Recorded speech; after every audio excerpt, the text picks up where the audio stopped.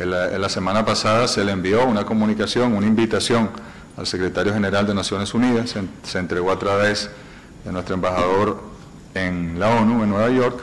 Ayer conversamos con el secretario general al respecto y esperamos respuesta ahora de Naciones Unidas para que participen. Pero también estaba contemplado en el acuerdo una misión electoral que coordinaría el gobierno de República Dominicana con el- los garantes, los cancilleres garantes, los gobiernos garantes, es decir, México, Chile, eh, Nicaragua, Bolivia, San Vicente y las Granadinas, y pudies- pudiesen sumarse otros países. Pero también hemos invitado, la respuesta deben tenerla entre el Departamento de Estado y la Mesa de la Unidad Democrática en Venezuela. ¿no?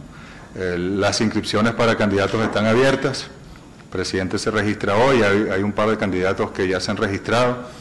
Eh, y bueno, yo entiendo que los ciudadanos que apoyan a la oposición en Venezuela tienen derecho a tener su candidato, su candidata, lo que ellos elijan.